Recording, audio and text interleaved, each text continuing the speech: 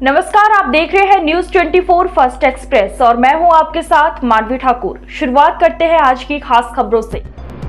तेईस अप्रैल को प्रारंभ हुए अखंड संशोधन को पुलिस ने किया सकुशल बरामद।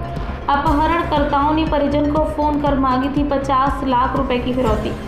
बस्ती पुलिस ने अपहरणकर्ताओं के चंगुल से अखंड को सुरक्षित बरामद किया।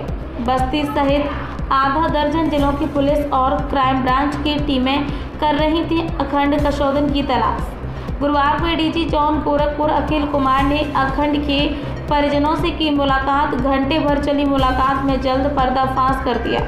यह आश्वासन 30 अप्रैल को घर के आसपास सब्ज़ी लेने गए 12 वर्ष अखंड कशोधन का हुआ था।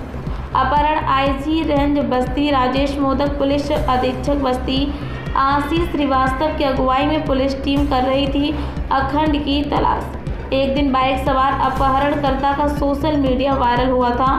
फ़ोटो और वीडियो गोरखपुर ज़िले सहजनवा से हुई।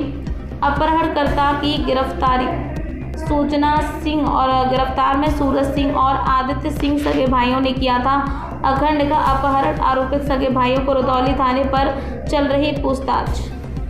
न्यूज़ ट्वेंटी फोर एक्सप्रेस के लिए दिनेश तिवारी की रिपोर्ट। तेईस अप्रैल को जनपद बस्ती के थाना रुधौली से हुए अखंड कसौदन के अपहरण कांड का सफल खुलासा जनपद बस्ती की पुलिस ने एसटीएफ की टीम के साथ में मिलकर के 30 अप्रैल के तड़के भोर में किया और अपराध को सकुशल बरामद कर लिया है। इस संबंध में जो हमारी वीडियो सर्विलांस की टीमें लगी थी, उन्होंने अपहृताओं का हुलिया देख लिया था और जो वीडियो के माध्यम से जानकारी हो गई थी और ये जानकारी थी कि अपहृताओं के पास में हरे रंग की एच डीलक्स बाइक है।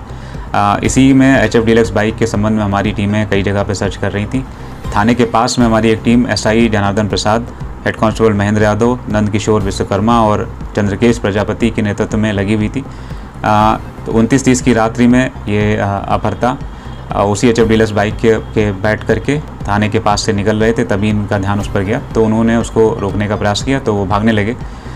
चूँकि वीडियो सर्विलांस के माध्यम से उनकी मोटा मोटा हुलिया हम लोग के पास था इस आधार पर उनको घेर कर पकड़ा गया और उनको थाने पर लाकर पूछताछ शुरू करी गई। पूछताछ में एस भी साथ में आ गई। पूछताछ में उन्होंने ये बातें बताई कि वो जो अपराध है अखंड का सौदन, उसके पिता अशोक कुमार गुप्ता के बिज़नेस में माल सप्लाई करते थे। वो पहले से उसको बच्चे को जानते थे। उनके ऊपर कुछ लोन था, जिस कारण से उन्होंने बच्चे का अपहरण कर लिया और बच्चे को सहजनवा गोरखपुर में छुपा करके रखा था। उनकी सूचना के आधार पर जनपद बस्ती की पुलिस और एसटीएफ की टीम जा करके आ, सहजनवा गोरखपुर से उन्होंने अखंड कसौदन को सकुशल बरामद किया है और उसके परिवार को दे दिया गया है।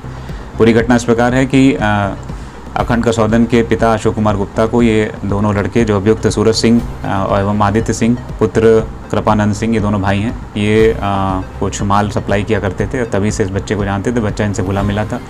चूँकि इनके ऊपर कर्ज हो रखा था तो इसलिए उन्होंने ये योजना, इस बच्चे को अपहरण करने की योजना 10 दिन पहले से बना रखी थी। 22 तारीख को भी उनके द्वारा ये प्रयास किया गया था, लेकिन 23 को वो अपहरण करने में सफल रहे। बच्चे को उन्होंने ये बहाना बताया कि उनकी गाड़ी का टायर पंचर हो गया है और वो चल करके उसको बदलवा दें। उनके इसी बहाने पर बच्चा बाइक पर बैठ करके चला गया और बाद में उसका अपहरण कर लिया गया। चूँकि ये एक सनसनीखेज घटना है, इसलिए हम प्रयास करेंगे कि अभियुक्तों के खिलाफ हम एन की कार्रवाई भी करें। आज की खबरों में बस इतना ही। देखते रहिए न्यूज़ 24 फ़र्स्ट एक्सप्रेस नमस्कार।